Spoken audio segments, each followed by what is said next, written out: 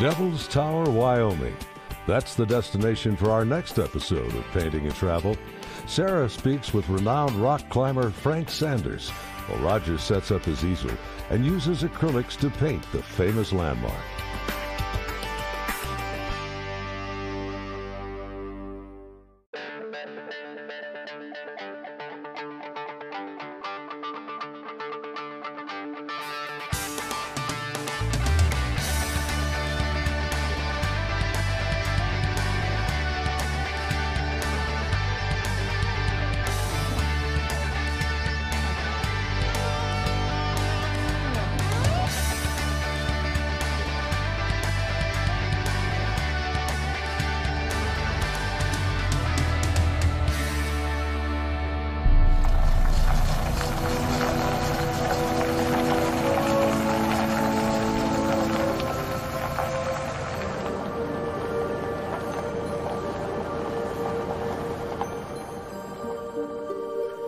Hi, and welcome.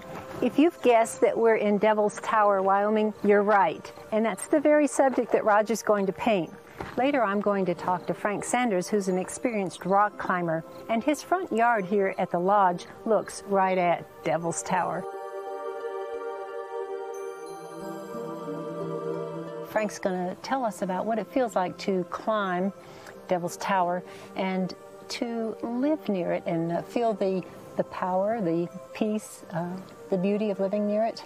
There is an inexplicable but undeniable power and peace that's with the tower. I was very attracted to come and see it. I, um, I think I first saw it in the movie Close Encounters and wondered if it was even a real place or if they just made it for the movie. Of course, obvious. I'm a rock climber, and as far as places to climb go, this is an amazing place. How often do you get to the top? How many climbs over the years have you been able to accomplish?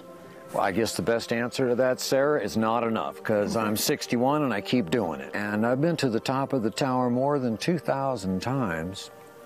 Part of that's my guide service here. We're taking people up, oh, just about every day of the week. Can anybody try it, even people that haven't had experience? Anyone can come and learn to rock climb here. I've had the joy of escorting a seven year old, a 73 year old, a one legged man, a one armed man. And the one common ground there is desire. So, do you see it in through new eyes every time you take up new people? I do. So you get to re-experience that thrill It's- of approaching. Yes, absolutely. It's uh, that first thrill again and again and again. This crack jamming, crack climbing, it's a different language entirely. And what you're doing there is inserting your fingers or your hands in a wide spot in the crack and working it down to a narrow spot so the rock is holding on to you. You're not holding on to oh the my rock. goodness! I had no idea that's what It's actually you're wedging lazy. down in there, and You're a little not bit holding on. secure. There's some security Very secure. I never knew that. Very secure. So you think of the crevice as sort of being V-shaped, and you- Yes. you, put your hand in there, and then you're coming down so that it would be hard to get your hand out. Almost impossible. You'd asked me earlier about um, how fast do people climb and, Mm-hmm. and how many times in a day it's been summited. Um, for the record, my guide Felipe has free soloed, and the current record is about 11 and a half minutes. And I myself, um, quite unintentionally, it was just a day off. And I wanted to go climb alone, but by the end of the day, I found that I had indeed touched the top of the tower 16 times. But generally, climbing is very meditative. It's, it's, it's a heightening of the senses and a sharpening of the focus. And how do the challenges change as the weather changes or the seasons change? Well, we're fortunate here. The tower is steep enough that the snow does not stick to the sides, so even in the winter, it's pretty much snow free. There is no water source at the top of the tower, so there's no ice that forms. So climbing on the tower in the winter is a real joy. Now let's see your hands. I know people always talk about the hands being especially developed. No. They look like regular hands. I play piano. I've just got calluses in places that um, you don't.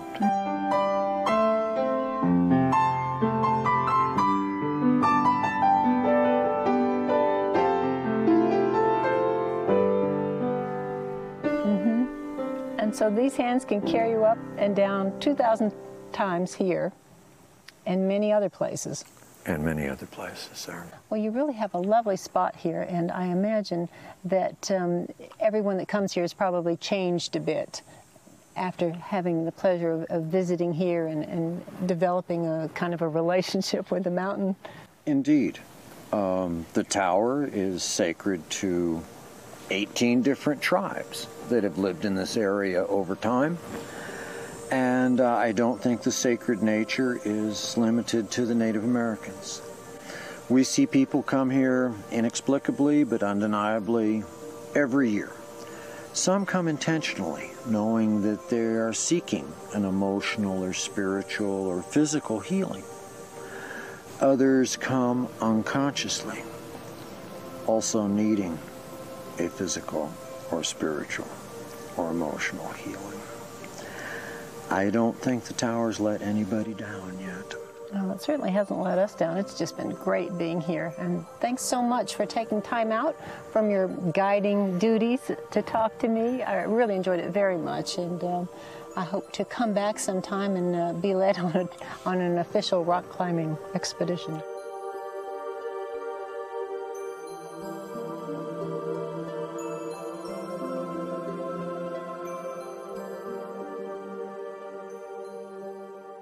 I'll be using an 11 by 14 inch piece of masonite today covered with gesso and my palette consists of titanium white, ultramarine blue, cerulean blue, Indian yellow, and three earth colors, yellow ochre, burnt sienna, and burnt umber.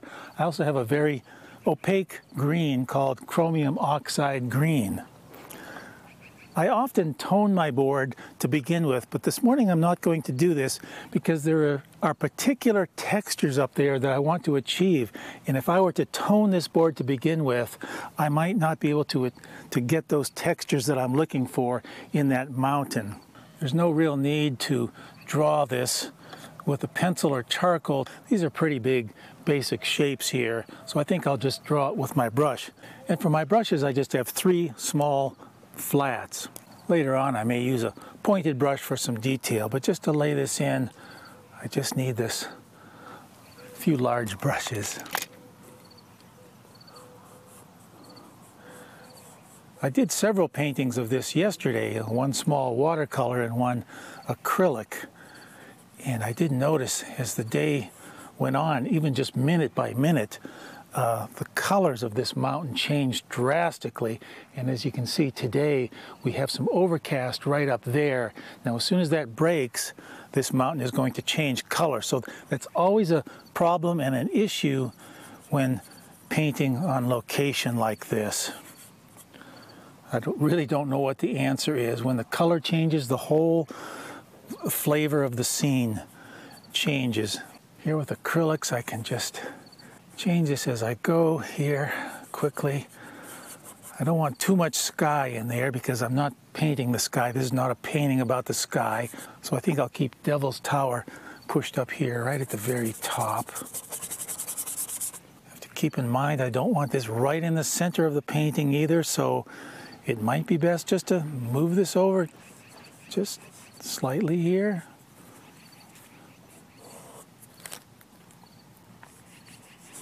This is a beautiful, nice, hard tree line right here. Those are all pine trees up there. And then we have this cliff area right down in here. Have this big red area right in here.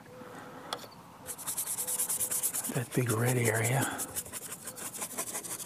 What I'm trying to do now is look at the mountain and look at what I think might be a local color, which there really isn't one color there. There's so many colors there, but in order to start, wow, here comes that sun. See, everything's going to change. But I'm going to try and mix sort of a, a grayish green to start as a base coat for this mountain. I have a little spray atomizer here. This is very helpful. It will keep my my board a little bit wet and my paint's slightly wet as I work.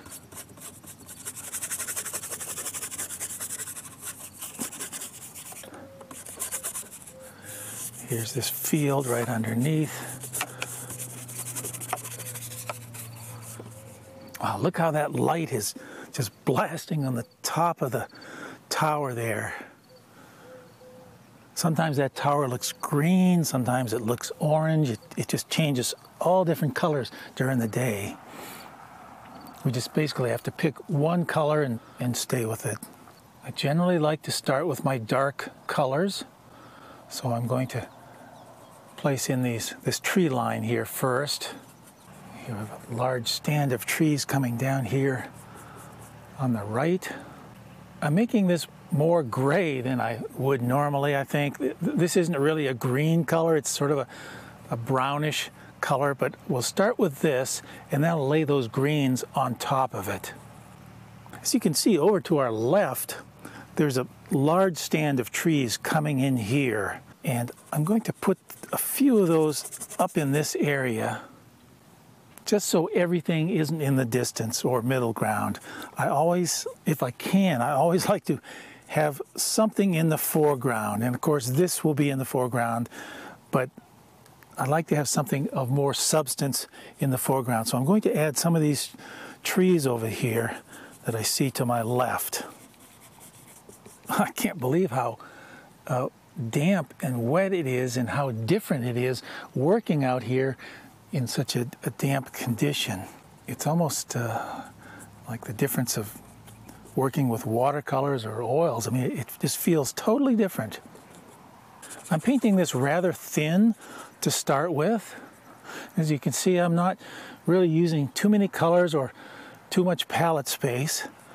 It's all a bit monochromatic at this point. More paintings are ruined by just using too much color. Although there's a lot of color up here, there is also a lot of subtle colors and grays. And I want to start with those and reserve some of the brighter colors for uh, towards the end of the painting that I can use as accents. We have a brilliant blue sky this morning, but I think I'll add that sky later because right now I'll work on Devil's Tower here and try and get some of that form and texture, and then I'll paint the sky around it. I'm going to apply this rather thin and then just work into my heavier colors as I go and as this dries.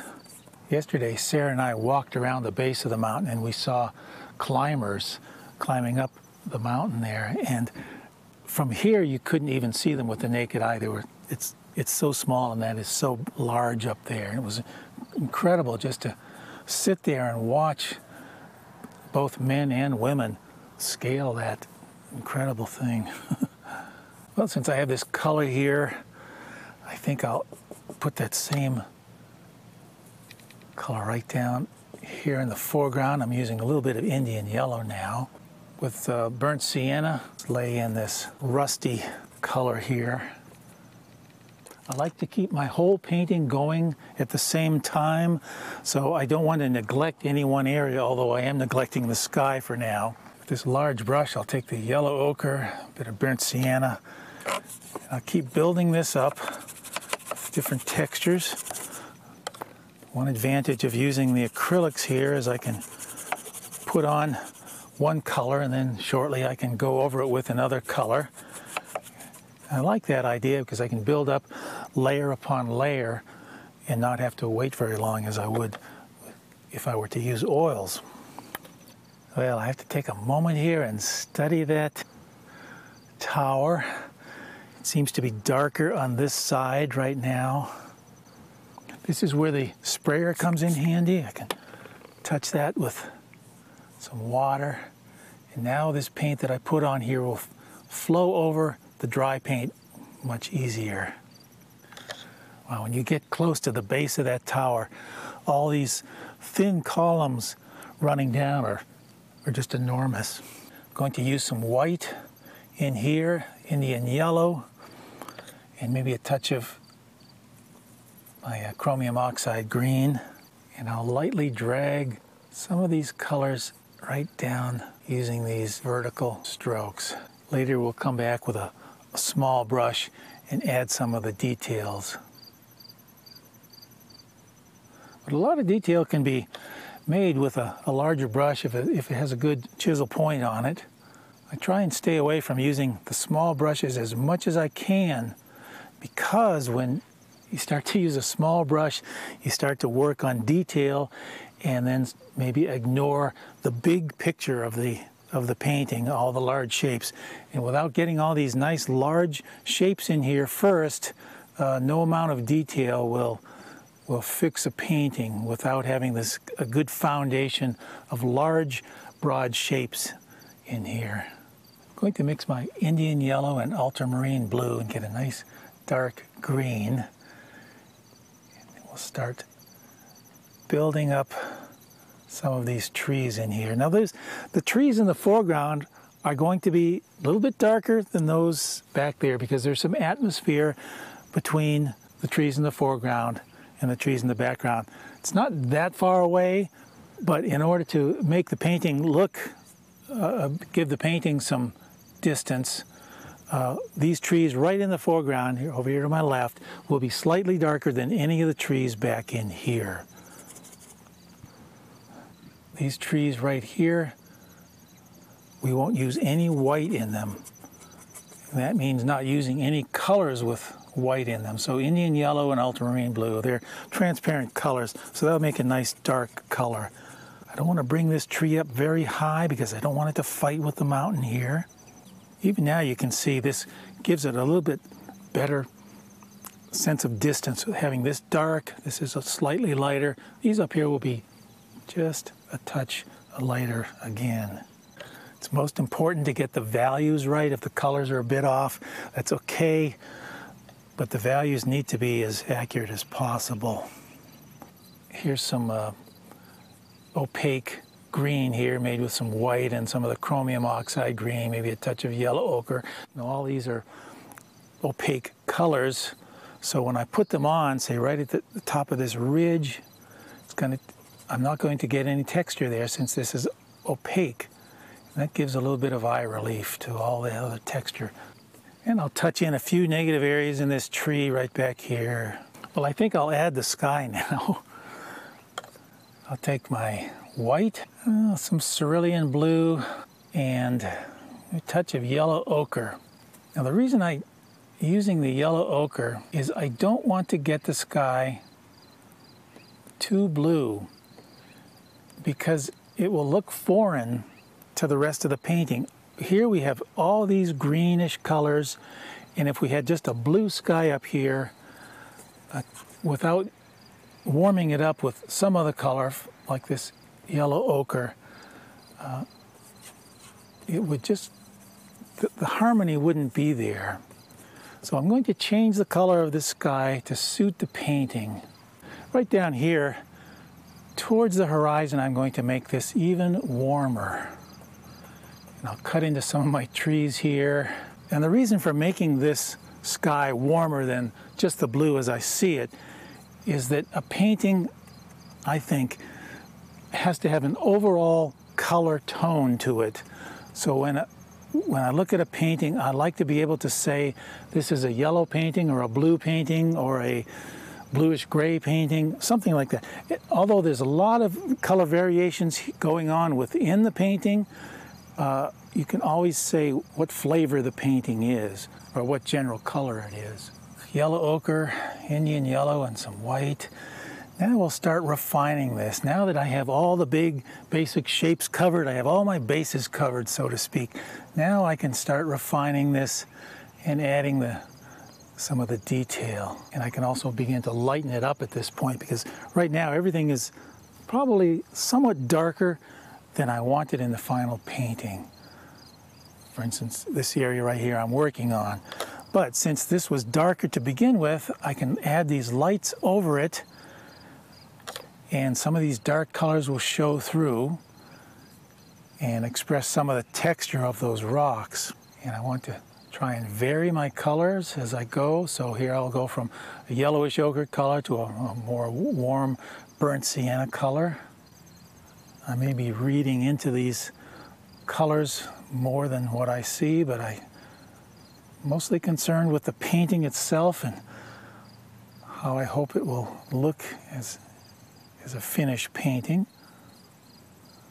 I'm not trying to make any kind of a photographic statement here.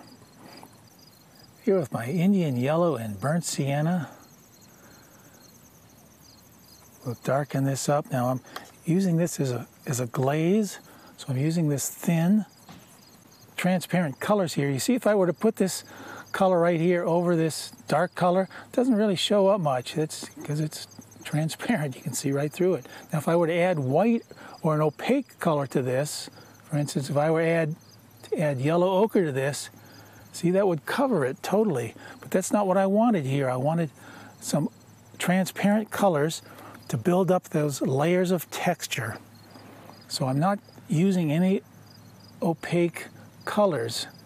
I mean, some of them may be semi-opaque, but to get this texture that I want here, I'm going to just keep layering it with some transparent colors. Of course, here I used white because I wanted to lighten it up.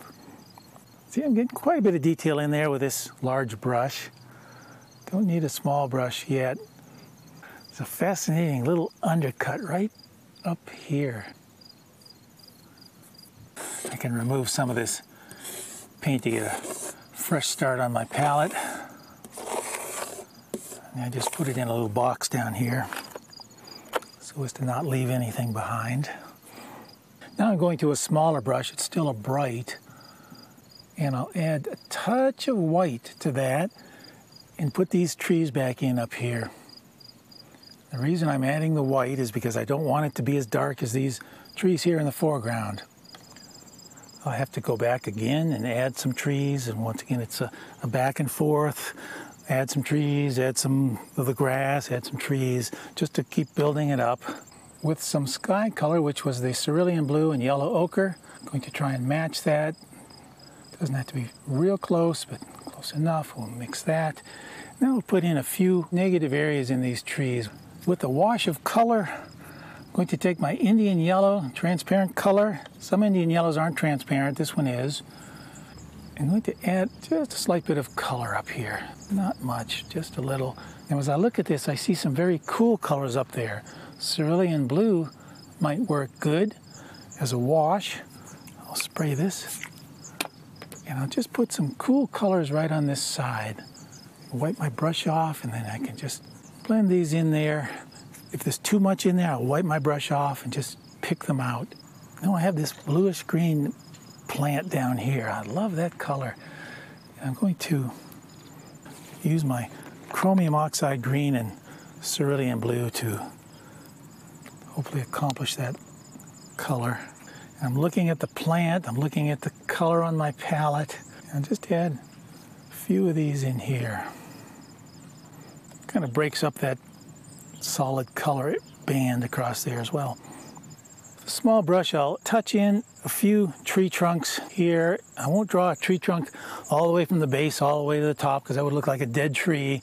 So I'll just put in a branch here and a branch there because these branches lose themselves among the leaves.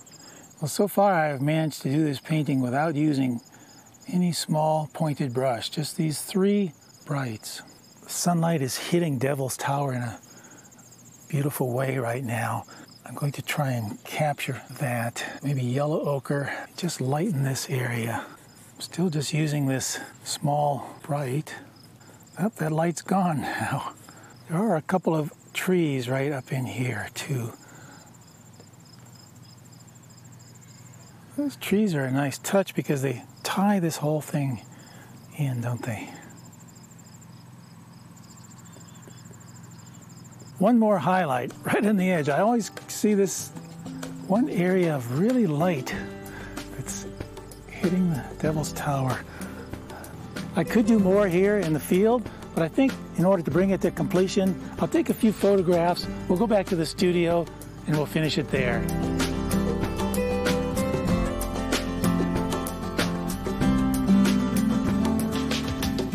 Well, I'm back in the studio, and here are a few things I did to complete this painting. I didn't like the color of this sky. Sometimes in the field, it's hard to know exactly what colors and values to use, and sometimes I can better figure that out here in the studio, especially since outside when everything is changing so fast, especially the sky. So I did make this sky a bit bluer, and I did add some subtle clouds, and these clouds sort of point themselves to the tower, which is the center of interest. Very subtle, but I think it helped just a little bit. You can see the perspective here of these clouds heading in towards this area. I defined the shape of the tower a little more accurately.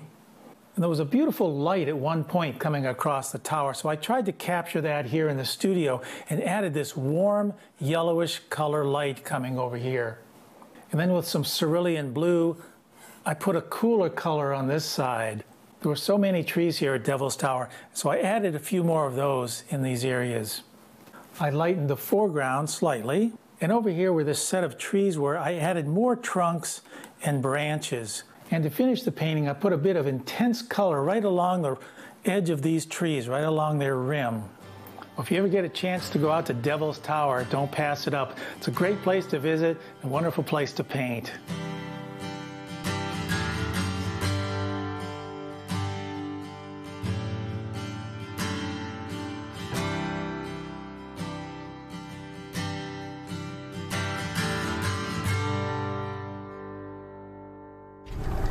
Very good.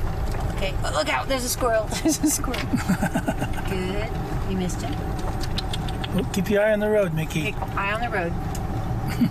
good, good, good, good. Oh, you've got a heavy foot on the gas, don't you? Oh, that's my foot. Okay, there's a curve coming up. What do we do when we see a curve? We brace. we grab on the side. Don't honk the corn. Okay, then we, we turn. Turn.